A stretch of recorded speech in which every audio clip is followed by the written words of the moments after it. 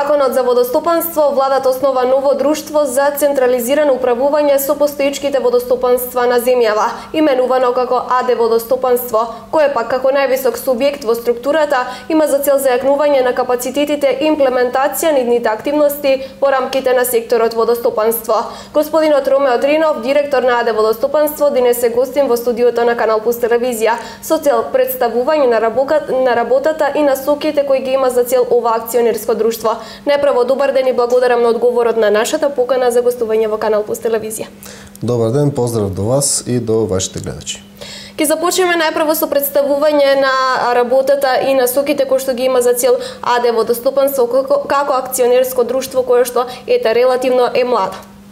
Така, значи акционерското друштво водостопанство на Република Македонија во државна собственост се формираше 2015 година во ноември месец, значи кон крајот на годината.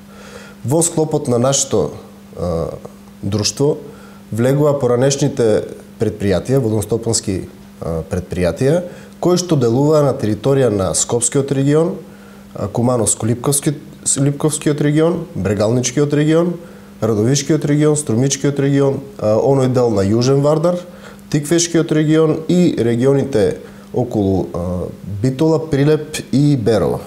Дополнително, со нашето формирање, согласно нашиот статут, беа формирани уште две подружници. Тоа се подружниците Полок и Црндрим. Полок со седиште во Гостивар и Црндрим со седиште во Охрид. Значи, поранешните водостопански предпријатија, поранешните регионални водостопанства сега се дел од нас како наши подружници. Она целта за што бевме формирани од страна на владата на Република Македонија е да се обезбеди економично стопанисување, користење, функционирање и одржување на хидросистемите, на системите за наводнување, системите за, за одводнување, понатаму подобрување на обемот и квалитетот на услугите кои ги даваме на нашите корисници на вода и создавање на услови за развој на самата водостопанска дејност и покачување на едно повисоко ниво на функционирање со цел да се обезбеди а, квалитетни услуги кон земјоделците, кон, а, кон стопанството во целина, кон, кон комуналните предпријатија, односно наша цел е и ќе биде а, квалитетно нудење на услуги во делот на снабдување со вода за наводнување, снабдување со вода на комуналните предпријатија за пиење, обезбедување на технолошка индустријска вода, вклучително и на и за производство на на струја и секако одводнување на земјиштето и прифаќање на на на испуштените води. Во делот нели на очекувањата, мислам дека ние се формиравме во многу турбулентен период. 2015 година тоа беше а, и момент на ние всушност и од кога се формираме до сега цело време функционираме во во период на политичка криза. Така што а, имавме на почетокот се формиравме во, во ноември, а вистински почнавме да, да, да функционираме некаде јануари, средината на јануари, имавме многу краток период да направиме програма за да можеме да ги задоволиме потребите на на земјоделците, веќе сезоната за наведнување, ние почнавме некаде средината на, на јануари да функционираме во полн капацитет, а сезоната на наводнување требаше да почне на 15 април. Тоа беше еден краток период, еден доста турбулентен период, како што кажав, се најува избори во април, па во да. јуни, па ни дава забрана што можеме да правиме, што не можеме да правиме од нели согласно изборниот закон и насоките од антикорупцијска од Државната комисија за спречување на корупцијата, така што навистина беше доста доста турбулентен период, но мислам дека на почетокот успеавме сезоната да да ја дотераме како што треба, успеавме да да направиме одредени да воспоставиме соработка со одредени и меѓународни и, и домашни институции, особено е Министерството за земјоделие. Јас би би потенцирал и соработката со заменик министерот за за земјоделство кој е од овие краишта, значи од Штип, господинот Данчо Костадиновски, мислам дека целта за што сме формирани сега за сега ја оправдуваме, работиме напорно, се разбира, како што кажав, и понатаму функционираме во тежок политички период, што ние, ние сме трговско друштво, меѓутоа сме во државна собственост. Сега тоа понекогаш прави доста проблеми, особено кога има вакви нередовни, би рекол, би рекол политички случувања. А, знаеме во последно време дека со природните случувања ми можеме да си играме. Ако условено можеме да кажеме дека помина помина периодот на можни поплави и а, обилни врнежи, меѓутоа не се знае. А, дали има можност а, за излевање ете на и поплави во Брегалничкиот регион? Согласно активностите кои беа приземени, преземени од наша страна и согласно е, климатските е, услови, можам да кажам дека генерално опасноста од поплави е помината. Значи, каналите се во функционална состојба, се во добра кондиција.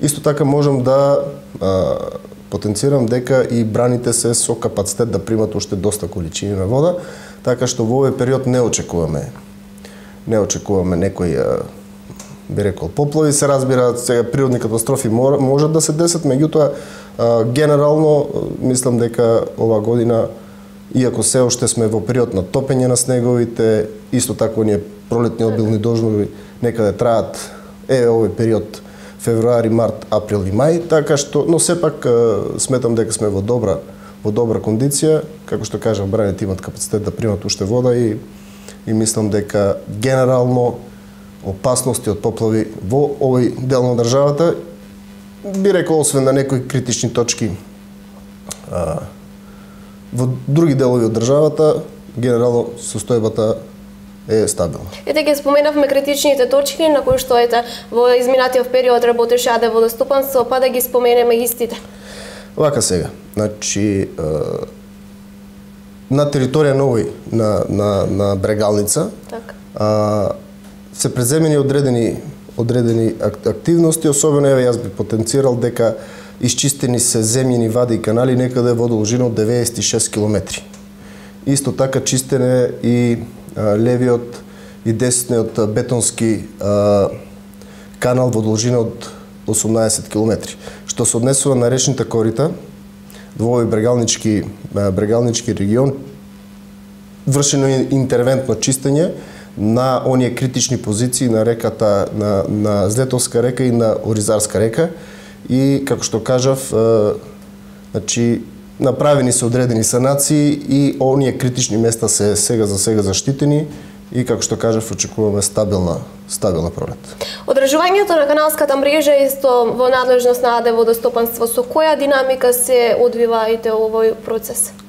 Вака сега, динамиката за чистење на, на каналите за одводнување се одвива согласно програмата која што е донесена.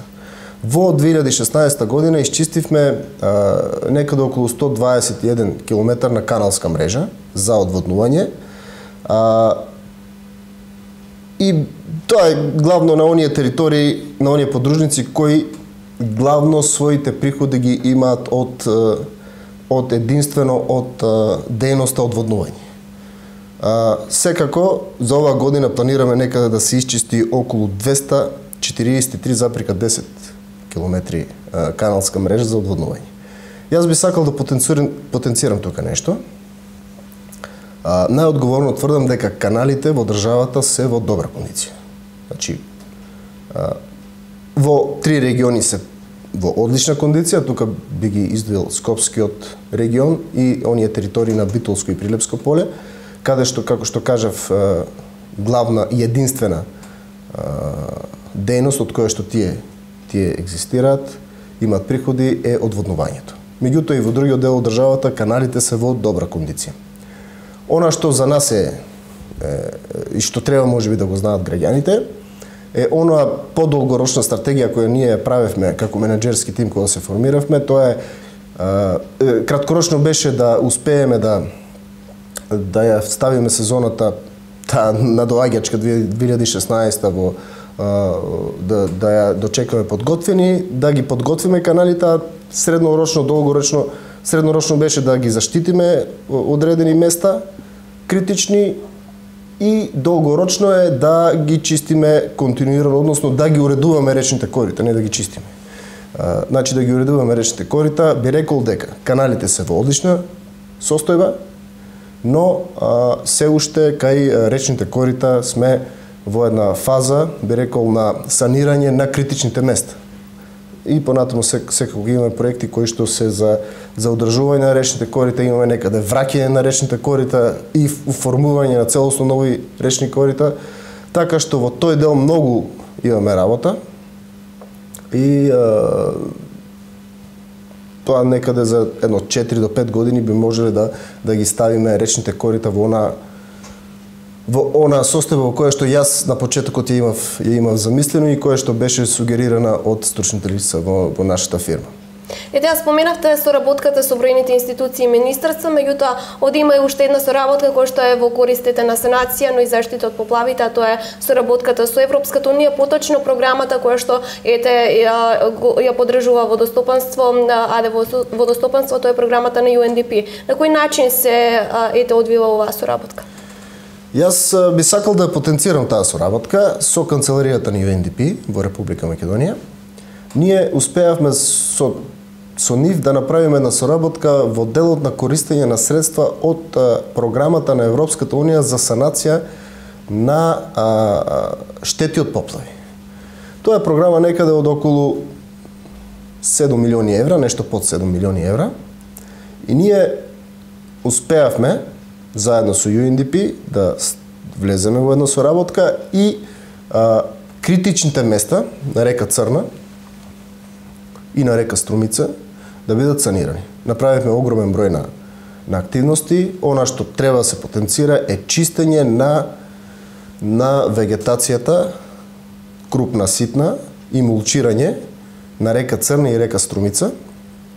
А, исто така вршен е ископ на овие две, две реки и практично ние влегуваме во една фаза каде што најголем дел од тие реки веќе ги стабилизиравме, знаеме дека поплавите кои се одвива во периодот пред да се формира нашето нашето друштво, значи ние од кога се формиравме до сега немаме нема нема поплави, тоа е дел и од нели од тоа што е, имаше би рекол стабилни климатски услови, но и еве имаме направено соработка така што тие две критични реки кои што особено во 2014 и и е, почетокот на 2015 направија големи проблеми, проблеми и на приватните имоти во цело, значи на, на, на територија на овие две две реки се сега во стабилна позиција, особено река Црна. Река Струмица сега сега се работи мулчирање, на еден дел имаме завршено ископ. Таа соработка е многу многу важна за нас. Јас би а, потенцирал дека тука освен освен што што имаме соработка за санирање на базените так. на овие две реки, исто така имаме и санирање на на браните Слатина, Липа, Мавровица и Дренска река. Така што тоа е за нас многу важно. Знаете кога се формирате а, имате огромна огромен притисок што да се прави во моментот, а не знаете на некои територии од државата немало водостопанска деност, можеби со 10 години од кога се формира водните заедници, вие влегувате во една во една работа и сега доаѓа UNDP и ви ви дава една соработка која што во моментот е овие две критични реки и ние успеавме да со нивна помош не со нивна помош тие би рекол ја одигра клучната улога успеавме да да ги ставиме овие две реки во во стабилна состојба, како што кажав, се уште имаме работа, но на добар пат сме. Так. Република Македонија е аграрна земја и од исклучителна важност е навременото и квалитетно наводнување. Дали имаме можеби одредени делови од Република Македонија со кои што ете вие се соочувате со ете неможности за навремено наводнување и квалитетно? Видите, наводнувањето е една од дејностите која што е многу битна за нас ние имаме посебна, посебен фокус на таа дејност. А, видите, тоа е еден процес кој никогаш не престанува. Например, сезоната трае од 15 април, завршува до 15 октомври. Меѓутоа, меѓу, во меѓувреме вие треба да ги спремите веќе системите за наредната година. Тука може да се појават нели врнежни врнежи од снего, снегови да се појават одредени а, ситуации на теренот кои, кои мора да се решат. Имајќи во предвид дека ние имаме голем број на на отворени системи за наводнување, имаме и имаме и затворени секако, имаме различни типови на на одржување. Значи, во отворените треба да се исчистат банкините од вегетација, треба се да се извади талогот, земјиот талог, треба а, да се санираат доколку има оштети на на овие на некои таблести затварачи, а, замена на на а, на одредени позиции каде што не знам на на дилатациони фуги и така натаму. Значи има голем број на активности. Исто така треба и да се исчистат тие земнини вади кои ние користиме, значи земени канали. Лани исчистивме 414 километри на, так. на, на канали за наводнување, од кои 181 км на територија на, на подружницата Бргалница. А, исто така и системите за наводнување кои што се од затворен тип си барат свој свој одржување. Тука треба да се сменат цевките кои се оштетени, вентилите, хидрантите, исто така. Така што тоа е еден процес кој никогаш не престанува и би рекол ние имаме голем фокус на, на, на наводнувањето. Е сега дали имаме проблеми, прво би било чудно да не бидејќи располагаме со, како што кажав, со, отворени системи, со земјени вади, располагаме со застарени системи за наводнување кои секоја година барат некаде да се нешто да се преземе некоја некоја градежна активност да се да се поправат. А, така што проблеми има и ќе има. Не може да нема. Би било чудно да нема со оглед на тоа дека располагаме со а, специфичен, значи специфични системи за наводнување, Како што кажав, на некои територии од државата 10 години, години немало водостопанска дејност. Тоа се новите подружници Црн Дрим и Полок. Ние таму имаме голем, големи проблеми, но еве би ја истакнал тука и соработката со земјоделците кои што имаат искуство и ни кажуваат нешто што ние не, не го знаеме, а тие го знаат решението. Значи имаме во тој дел на државата соработка и со земјоделците како и на секаде и на секаде во државата, така што проблеми има, имало и ќе има, но ние сме тука и да во соработка со, со земјоделците, нашите вработени кои што се од подружниците, директорите на подружниците и ние како дирекција да ги отстраниме навремено сите сите проблеми кои ги има. Во многу ваши интервјуа напоменувате дека првично пред се треба да се обезбеди добра механизација. Дали се работеше ете во блиско минато токму на осовременување на механизацијата? Со каква механизација вие сте работите во моментот како водостопанство? Кога јас станав директор на водостопанство, односно кога го оформивме предпријатието, имавме три стари багери, два функционални и еден нефункционален кој го ставивме во функција и два нови односно еден нов, а едниот а, го набавивме во меѓувреме. Сега старите викаат без залат нема занат. Е сега алатот на водостопанските предпријатија на секаде во светот е механизација. А, веднаш по формирањето на друштвото, целиот мој тим, а, начело со мене, пристапивме најпрви кон а, едно силно лобирање кај во владата на Република Македонија за да се обезбедат средства за набавка на механизација и успеавме да издействуваме 3,5 милиони евра за механизација и а, тендерот е во тек. А, јас би рекол доколку ние успееме да ја набавиме механизацијата во текот на оваа година стануваме функционално предпријатие. За нас механизацијата е а, најбитното нешто. Значи на време ќе ќе се чистат каналите, на на време ќе се санираат одредени штети од поплави. Навремено континуирано, значи со со одредена програма ќе се регулираат речните корита. Така што најбитно нешто за функционирање на водостопанство, без разлика дали ќе бидам јас директор, друг, така. трет, тоа се менува, не може да кој да биде, што и да биде без без без механизација, без соодветна механизација ќе функционира во исклучително тешки услови и многу скапо. Значи, многу е скапо да се одржуваат каналите. Многу е скапо да се водостопанската дејност е многу скапа кога плаќаш за услуга на приватна фирма.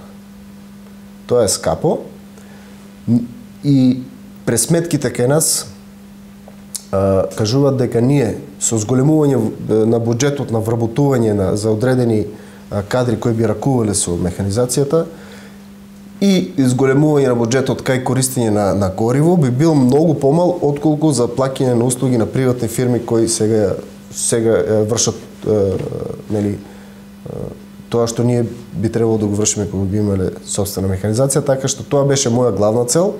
Политичката криза си го направи своето, имаме вака долговлечувања и така натаму, но мислам дека тендерот е во тек, се надевам дека многу брзо ќе веќе набавивме дел, но тоа е се уште мал дел, дека ќе набавиме до крајот на годината ако успееме, мислам дека влегуваме во еден период веќе на развој на водостопанство, не само на на секојдневно одржување, справување со проблеми. Значи, ќе ги справувате проблемите, меѓутоа тие секој ден се јавуваат, но кога ќе имате континуирана работа, кога ќе имате би рекол алат со кој што вие ќе можете да работите на терен, тогаш проблемите ќе бидат и многу помалку, можеби на почетокот ќе биде малце поскапо, потешко и така натаму, но кога ќе влеземе во една во една континуирана работа, проблемите ќе бидат се помали и помали.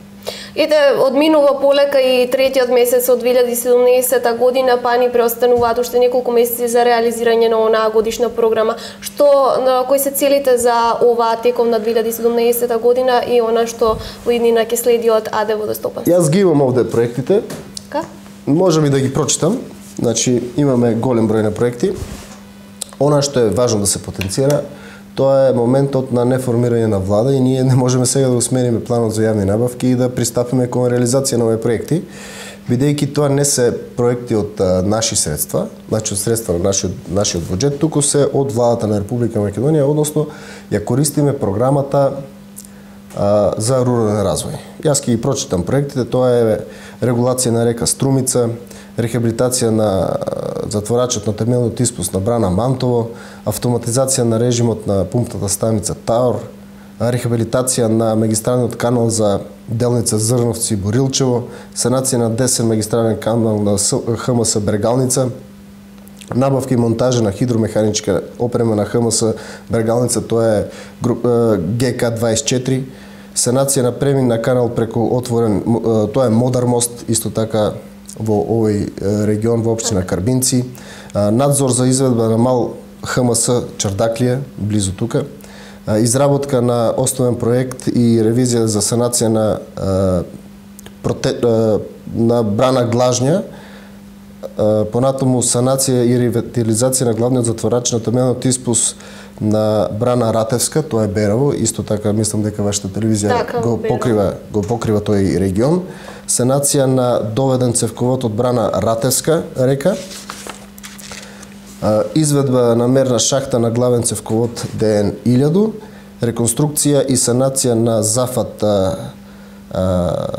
и понатаму изработка на геодетски елаборат за посебни намени со ажурирана геодетска подлога за рачно корито на река Пчиња за делница помеѓу двата моста, тоа е на патот Катланово. Така.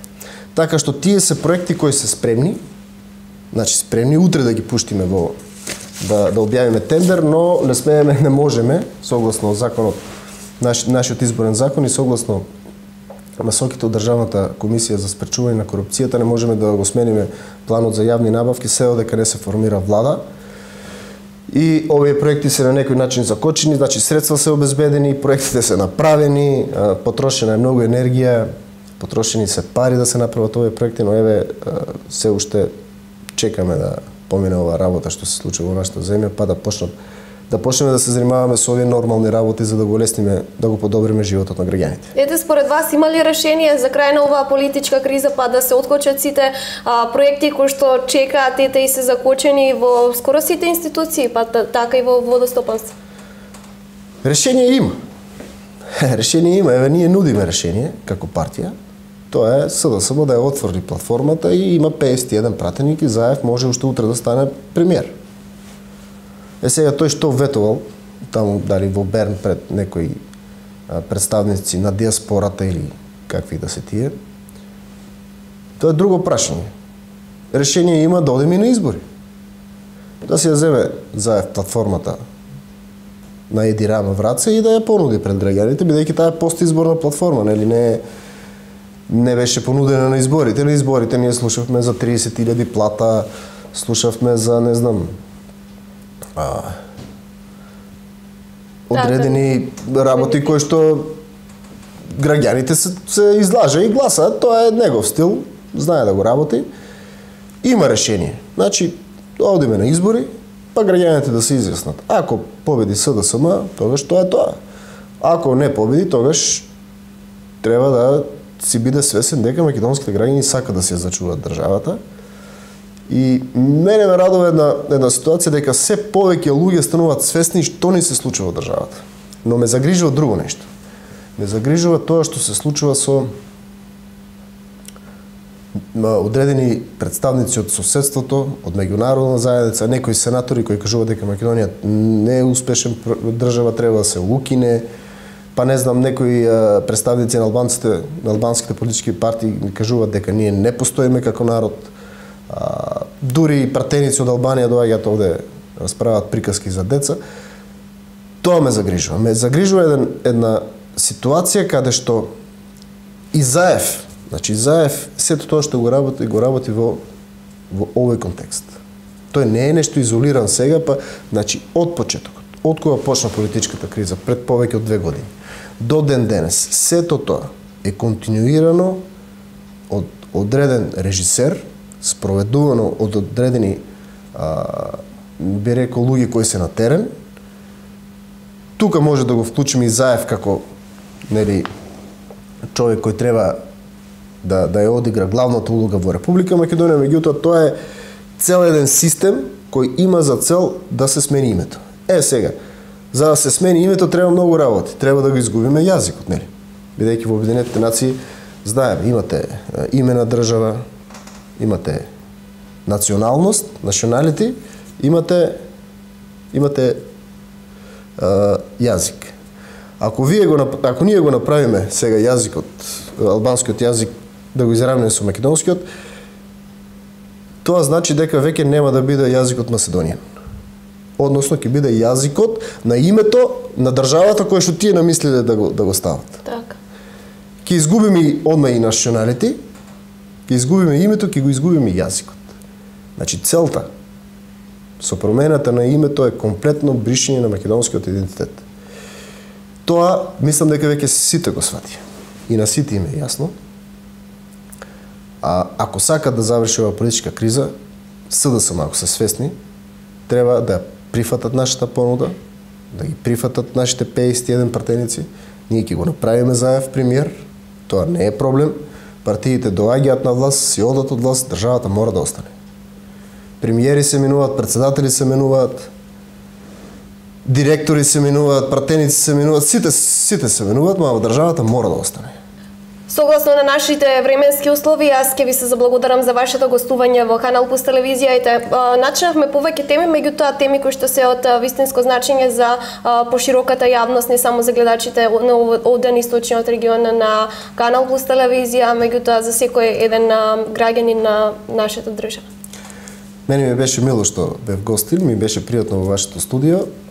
Мене секогаш ми е пријатно, пријатно во овој источен регион, се чувствувам овде како свој на своето и ми беше задоволство, се надевам ќе имаме и други други гостувања. Ви благодарам.